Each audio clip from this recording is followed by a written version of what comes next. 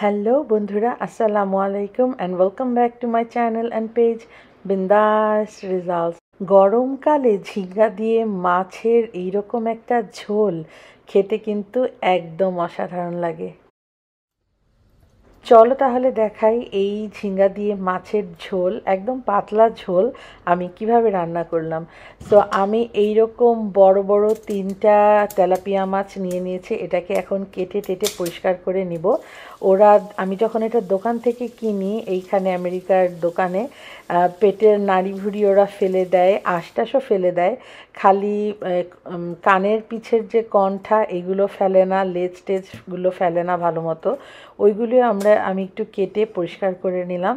তারপরে এগুলো খুব ভালো মতো একটু লবণ দিয়ে আমি ধুয়ে নিব। যতক্ষণ পর্যন্ত এই পানিটা সাদা হয়ে আসবে, ততক্ষণ পর্যন্ত আমি এটা ধুয়ে নিব। তারপরে আমি লবণ আর হলুদ দিয়ে এটাকে খুবই ভালো মতো মাখিয়ে দশ মিনিট রেখে দিব একটু ম্যারিনেট হতে। তারপরে দশ মিনিট রেখে দেওয়ার পরে তারপরে আমি চলে যাব এইটাকে ভেজে নিতে। আমরা রাজশাহীর মানুষ, যত কিছুই হোক, ঝোল রান্না করি আর দো পেঁয়াজে রান্না করি, যেটাই রান্না করি, মাছ না ভাজলে আমাদের যেন হবেই না।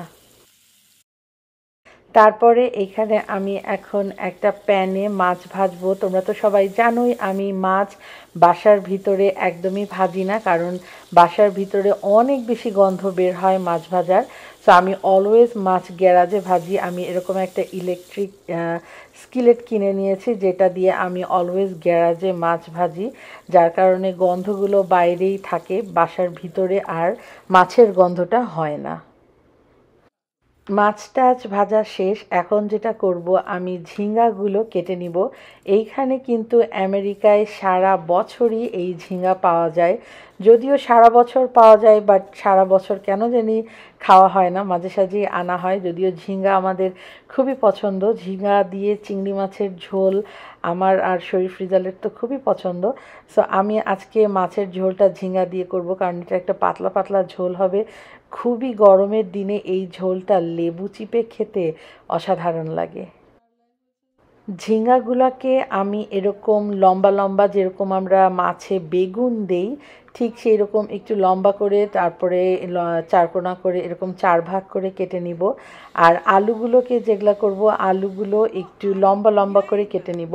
কারণ যেহেতু ঝিঙ্গা আমি লম্বা করে দিচ্ছি, তাই আলুটাকেও আমি লম্বা লম্বা করে কেটে নিব। বাঙালিদের মাছের ঝোলে আলু থাকবে না, তা কি হয়? আলু তো দিতেই হবে। শুনলাম বাংলাদেশে অসম্ভব অসম্ভব গরম পড়েছে।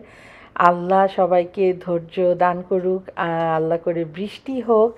বৃষ্টি হলে একটু গরমটা ঠান্ডা হবে। সো একটা প্যানের মধ্যে আমি তেল নিয়ে নিলাম, যেটাতে আমি মাছের ঝোল করব। সেটার মধ্যে তেল নিয়ে পেঁয়াজ দিয়ে পেঁয়াজটাকে একটু ভালো করে ভুনে নিয়ে পানি টানি দিয়ে এখন যেটা করব, পেঁয়াজ বাটা দিব। মাছের ঝোল রান্না করলে অলওয়েজ পেঁয়াজ বাটা দিলে ঝোলটা একটু ঘন ঘন হয় মানে ঝোল হয়, অনেক ঝোল হয় আর ঝোলটা খেতেও মজা লাগে। পেঁয়াজ বাটা না দিলে ঝোলটা একদমই মজা হয় না।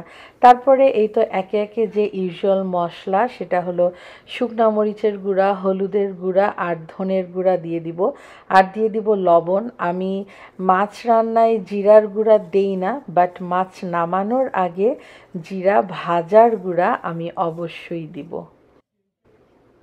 এখন মশলাটাকে খুবই ভালো মতো কষাবো, একদম অনেক কষিয়ে নিব, তাহলে মাছটা রান্না খুব মজা হবে। তারপরে প্রথমে যেটা দিয়ে দিব আমি ঝিঙা, প্রথমে আমি আলু দিচ্ছি না, আমেরিকান আলুগুলা খুবই তাড়াতাড়ি গলে যায়, তাই আলু আমি একটু পরে দিব ঝিঙ্গাটা গলতে একটু টাইম লাগবে।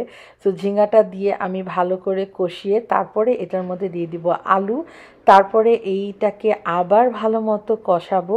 অনেকক্ষণ ধরে একটু কষিয়ে তারপরে নেড়ে চেড়ে পানি দিয়ে দিব এনাফ পানি দিয়ে দিব সিদ্ধ হওয়ার জন্য। পরিমাণে পানি দিয়ে দিয়ে এখন ঢাকনা দিয়ে আমি দশ থেকে পনেরো মিনিট এটাকে একটু সিদ্ধ করে নিব। একটু যখন আধো আধো গলে আসবে, তখন এটাকে নেড়ে চেড়ে তারপরে আমি এটার মধ্যে দিয়ে দিব মাছ। মাছ দেওয়ার পরে আমি কিন্তু অনেক বেশি আর নাড়বো না, কারণ জানোই তো মাছগুলো একদমই ভেঙে যাবে, ভেঙে ভিতরে কাটা টাটা বের হয়ে যাবে, যেটা একদমই ভালো লাগবে না খেতে। সো আমি এখানে একে একে মাছ দিয়ে আলতো হাতে একটু তল থেকে নেড়ে দিচ্ছি যেন ঝোলটা বের হয়ে আসে নিচ থেকে। তারপরে এই তো আমি এইটাকে আবার এখন রান্না করব মাছটা আর এই তরকারিটা একসাথে সিদ্ধ করার জন্যে। তারপরে এখন দিয়ে দিব এইরকম গোটা গোটা টমেটো। টমেটো মাছের ঝোলে দিলে কি যে মজা লাগে। তারপরে এখানে আরেকটু পানি দিয়ে দিলাম। পানি মিক্স করে দিয়ে টমেটোগুলোকে আবার একটু নাড়াচাড়া করে ঢেকে দিয়ে পাঁচ সাত মিনিট রান্না করার পরে যখন এরকম একদম টকবক করে ফুটবে, তখন আমি দিয়ে দিব কাঁচামরিচ আর কেটে রাখা ধনে পাতা। ঝোলের মাছের ঝোলে স্পেশালি ধনে পাতা তো চাই চাই। আর যেটা আমি বললাম, আমি অলওয়েজ মাছের ঝোলে নামানোর আগে এই জিরা ভাজাটা দিই। এই হয়ে গেল আমার মাছের ঝোল রান্না। নর্মালি মাছের ঝোল বেশিরভাগই রান্না করা হয় রুই মাছ বা কাতল মাছ দিয়ে। তেলাপিয়া মাছটা আমি খুব একটা বেশি এভাবে রান্না করি না।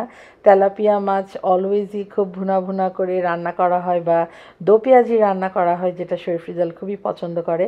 বাট কয়দিন থেকে আমার কেন জানি এই মাছের ঝোল তেলাপিয়া দিয়ে মানে ঝিঙ্গেটা দিয়েই ঝোল খেতে খুবই ইচ্ছা করছিল। সো এই জন্য আমি আজকে রান্না করলাম এবং সবাই খেয়ে তো বলল খুবই মজা হয়েছে। বিশেষ করে আমার তো লেবু চিপে একটা কাঁচামরিচে কামড় দিয়ে এই মাছের ঝোল খেতে অসাধারণ লেগেছে। আশা করি তোমাদের আজকের ভিডিও ভালো লেগেছে। ভিডিও লেগে, ভালো লেগে থাকলে একটা লাইক কমেন্ট দিও। আর দেখা হবে নেক্সট কোনো ভিডিওতে। সবাইকে আল্লাহ হাফেজ।